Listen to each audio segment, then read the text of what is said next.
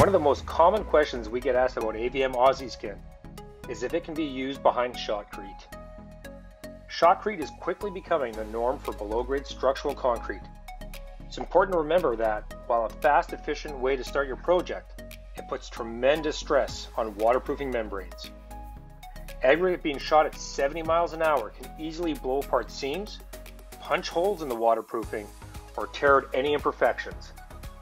Because of this, Los Angeles Research Reports has developed a testing standard to make sure waterproofing membranes will stand up to the stresses that happen during installation and perform after occupancy. The main criteria that LARR requires for waterproofing membranes behind shotcrete to mimic site conditions are have a 2 inch gap between the lagging, which also simulates shotcrete shoring wall voids, have a factory lap spanning the 2 inch void, and have a quarter inch nail standing proud behind the waterproofing membrane. Shotcrete is then shot directly against the membrane. To pass, there can be no failure of the seam, holes in the membrane, or have the nail rip through the membrane. In addition, there can be no lateral water migration between the concrete membrane after the shotcrete is cured. This is a difficult standard to pass, and not all membranes are created equal. When selecting membrane to use behind shotcrete, ensure that the product you select has LAR approval.